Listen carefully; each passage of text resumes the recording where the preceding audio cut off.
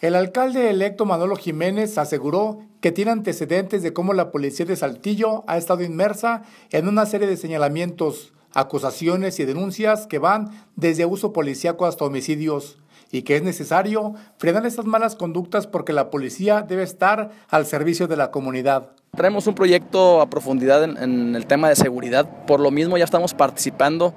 desde ahora en, los, en las reuniones de seguridad, nos estamos informando y tenemos dentro del equipo gente con mucha experiencia que nos va a ayudar a formar un plan eh, que ayudará a tener una mejor policía municipal para los saltillenses. Por otra parte, comentó que es posible que esta semana el alcalde de Saltillo, Isidro López, presente el equipo de transición para iniciar el proceso de entrega-recepción de la Administración Pública Municipal. Por ahí comentó que él ocupaba un poco más de tiempo para eh, poner las cosas en orden, le faltaba ahí alguna información en algunas de las direcciones. Y bueno, él se comprometió,